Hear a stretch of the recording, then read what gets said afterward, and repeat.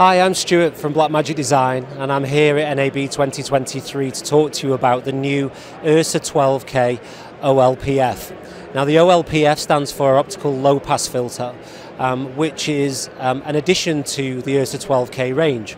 So typically we had the Ursa 12K and now we have the Ursa 12K OLPF. Um, both are priced at the same price of $6,385, except with this new Ursa 12K OLPF, um, that optical low pass filter enables you to have a slightly different image than what you were appreciating before on the 12K. There's no loss in dynamic range or resolution, albeit what you will see is some benefits when it comes to the moire or certain bits of sharpness detail that you may have been seeing in the original 12K camera.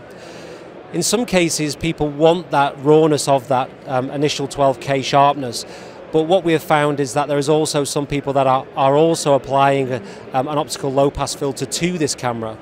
Well, with this new camera, we're enabling um, customers to actually buy a camera that already has an optical low pass filter installed.